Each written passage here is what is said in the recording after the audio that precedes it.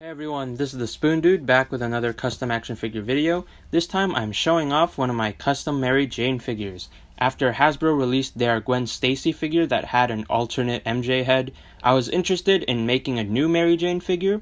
Uh, even though I had made one before and I'm happy with it, um, I just wanted to make a new one with this new head. And I actually ended up making two Mary Jane customs. Um, I guess I just really liked that Mary Jane head. With this particular figure, I decided it would be fun to replicate my own artwork that I made some years ago uh, with Mary Jane sort of wearing some of the Spider Man costume. And to best get that look, I decided to uh, use the Marvel Legends White Rabbit figure, as that figure already had the bare legs. And additionally, it also had sort of exposed neck, so all the flesh tone parts were already molded so I wouldn't have to bother painting it. White Rabbit did require some work. Her arms, and obviously she's wearing a jacket, so I had to take off the coat piece and I had to um, switch out her arms, which I did with a Marvel Legends Claire figure from the Netflix Luke Cage 2 pack. I also got rid of the White Rabbit's furry boots and um, had to cut the lower legs from Claire and try to fit them onto the MJ. I think I cut them just a bit off. I think one leg might be a bit longer than the other, but it's not really noticeable. And then I did do some sculpt work. Um, I sculpted the top of her collar and the bottom of the shirt. I also had to fill in the gap uh, where I replaced the lower legs.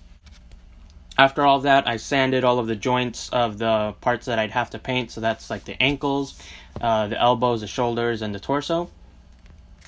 Um, then I got out my acrylic paints. I used just a basic red. And then for a blue, I mixed a uh, silver and a light blue. I was intending to match the look of the Mafex Spider-Man, which is uh, my favorite Spider-Man.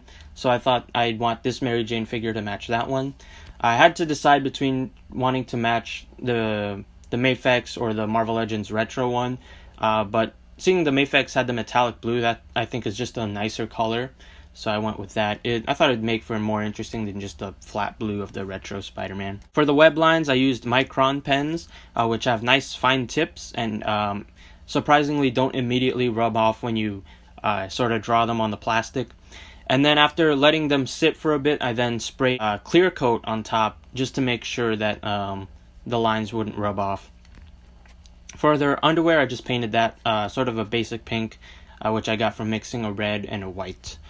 Uh, this figure isn't perfect. Since I've been posing it, there's a bit of paint rub. Flesh tone of the White Rabbit doesn't exactly match the Mary Jane head. However, in person, and I've said this before, but in person, it's not crazy noticeable, and uh, you know, it's not bad enough where I'm bothered by it. So overall, I'm pretty happy with the figure. It's probably my favorite custom Mary Jane since I just like this look. It's, you know, a more interesting one where she's wearing the Spider-Man costume. Let me know what you think of the custom in the comments below. Make sure to like the video and subscribe if you haven't. I hope to see you in my next video. Thanks for watching.